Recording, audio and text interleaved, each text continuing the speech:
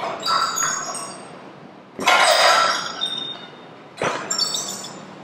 guys, today I'm going to explain you about a jab. A jab is a punch with your lead hand.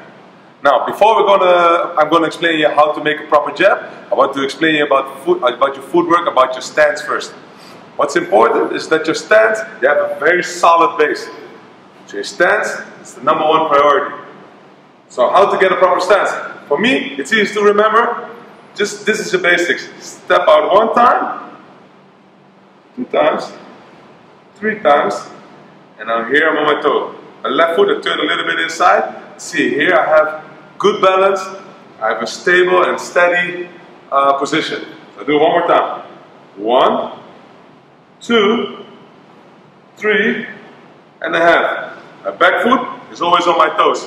My, my left foot a little bit inside. Why I'm always on my toes? Because from here I can move quick. See, wherever I want to go, I can move quick. So that's why I'm always on my toes. Always on my, at least my back leg. Right? So now from here, um, when I'm giving a jab, I want to step forward, push up with my back leg. My left leg is stepping a little bit inside here. At the same time, I, same time, I rotate my body. So I step forward, I push up with my back leg, and I rotate my body. Boom.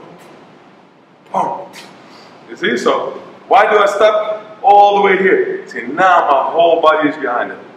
Yeah? If I just step forward a little bit and I punch up my hand, there's no power. But once I step in and rotate my body, boom, and back, boom. There's a lot of power, now my whole body is behind it. Okay, so actually there's two steps, you see? One, two back, one, and two and back. Now my hands, very important as well. I keep my hands up at all times.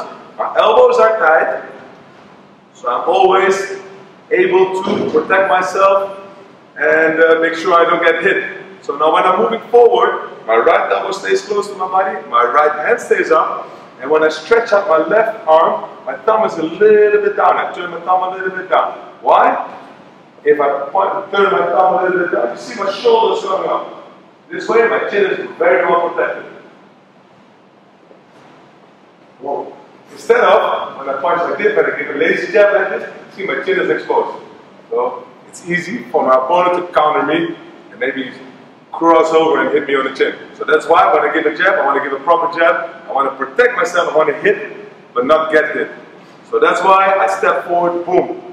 Turn my thumb a little bit down, shoulder up, elbow tight, hands high, and step back again. One more time, boom. Now I'm going to show you how to loose on the back.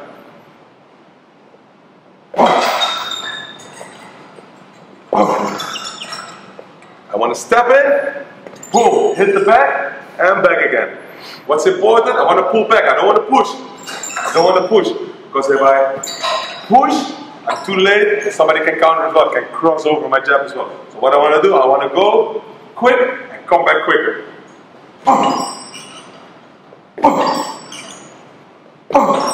What's important? First, practice your technique. Your stance, your technique.